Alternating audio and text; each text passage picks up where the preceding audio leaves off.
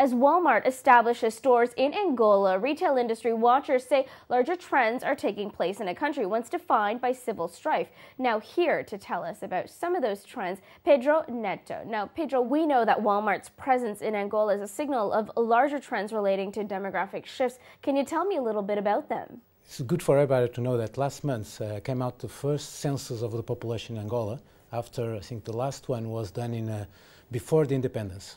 So last month we came to know that the population in Angola is now around 24 million, with a large concentration around Luanda, the capital, with around 7 million, and that imply, and with a young population more than probably close to 50%. We have now a growing consumer segment. The importance of the, the medium class is increasing.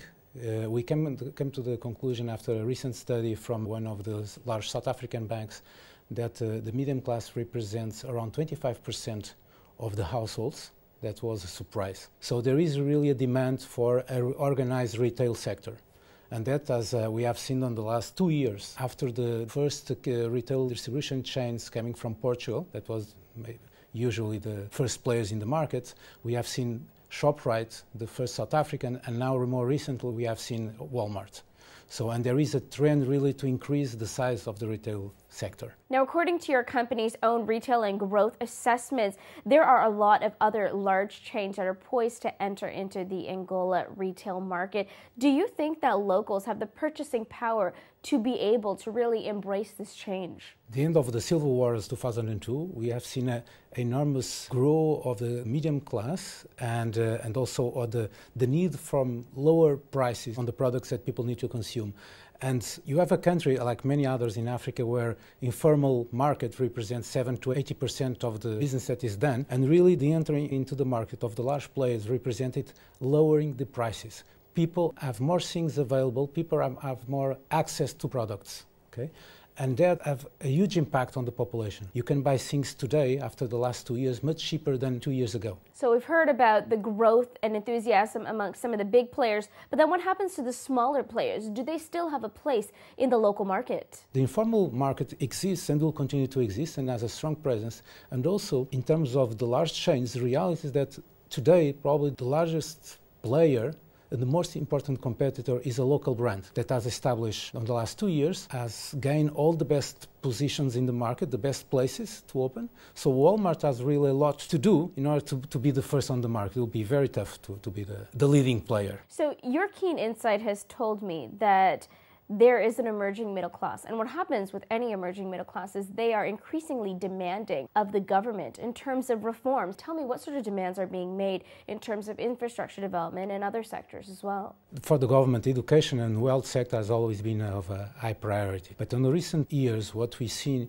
is a demand for better transport infrastructure. You have seen in the capital, in Luanda, some initial steps in order to improve the transportation system. We have now a kind of ferry boat scheme to move people around the city because there is not yet, a, you don't have a, a, rail system, you don't have a, you have a small rail network, but you don't have an underground system. So people, moving people around is difficult. Sure. But I think in terms of the retail sector, the most critical point is that you have a, a national program by the government uh, that's uh, from 2013 2017 that really has inside a plan to develop a platform of logistical stations, freezing stations, because that is very important for the development of the retail sector.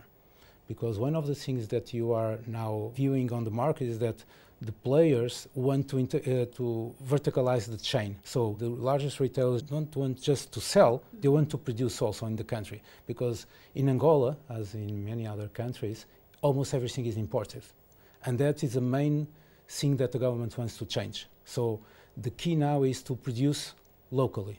And to produce locally, we need logistic platforms, you need to have freezing facilities across the country in order to produce and then accommodate the products and then transport to the main cities. Now, with such intimate insight into local market, can you tell me about what sectors still need to be tapped into? The local expertise on the retail sector, if you have the chance to visit Luanda, it's already at a very top level. If you see the, the largest uh, retail chain at the moment, Kero, that is a local brand, they are using the best consultants that you can have access worldwide. They have the local, their own brands. They are doing everything as in any other market. So they are really trying to train people having the best human resources, really transferring know-how to the country. Of course, it's not an immediate process, but they have started a couple of years ago and they are really betting on that. With your intimate insight of what is happening and the emerging trends in the country, what role does your company play in future development? We have a long experience in Angola. I've been going there almost every month since 2000.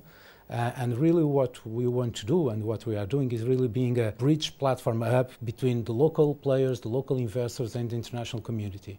If we have an international chain that wants to set up in, in Angola, we can support them in coming to the market, understanding who, the, who are the best players, trying to advise on the mistakes that we should not make or the things that are most appropriate to do. And at the same time, we want to be recognized, and we are achieving that from the local players as an entity that can support them in getting investors from abroad and supporting them on their expansion plans and supporting them on their internationalization activities. It's a challenge. Well, an exciting challenge that you've taken on. Pedro, thank you so much for joining me Thanks today.